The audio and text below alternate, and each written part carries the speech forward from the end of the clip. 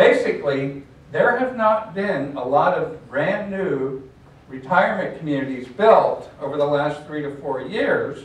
A few, and some additions to existing ones, but not a lot of new construction because the financing has not been good. The banks, you know, with the economy the way it is, the banks are like, you want a loan? We're a bank, we don't make loans. you know how tight they've been on the loans. And then the other thing is growth in the aging population.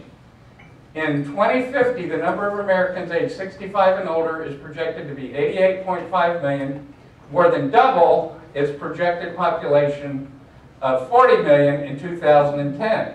And of course, the baby boomers and their parents are the people we're talking about. So here's what has happened as far as the current situation. Fewer new retirement communities have been built, and they're just now starting to talk about maybe starting thinking about some new ones, but over the last three to four years, they haven't been any, many new ones built. And just so you know, it takes three to five years from the time that they say, hey, let's build a retirement community. Well, we need to get the land, we need to get the zoning, we need to get all the approvals, we need to find the financing, get the builder, get the architects. It's a three to five year process from the time they start.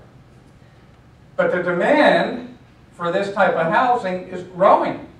There's, people are still aging and people are still, in many cases, thinking maybe there's a better way to live than holding on to this house.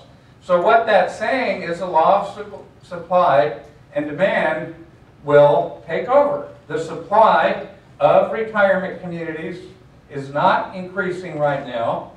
The demand is increasing. So here's what's going to happen. You just need to know this. The available options, the places you have to choose from, are going to decline because those communities that have availability now, they're going to fill up. And guess what happens when a retirement community fills up?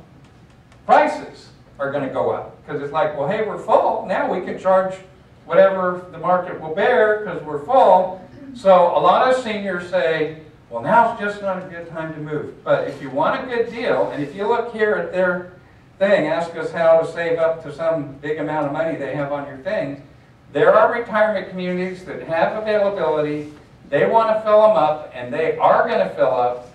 And once they fill up, you're not going to have as many choices until the new construction starts, which at some point, there'll be new ones coming again. And uh, once they fill up, the prices are going to go up. So that's what's going on in the industry today. You now have better options and better prices.